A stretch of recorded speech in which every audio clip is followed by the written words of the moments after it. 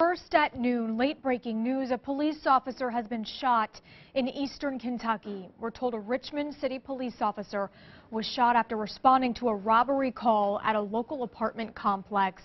Authorities returned fire and the suspect was shot.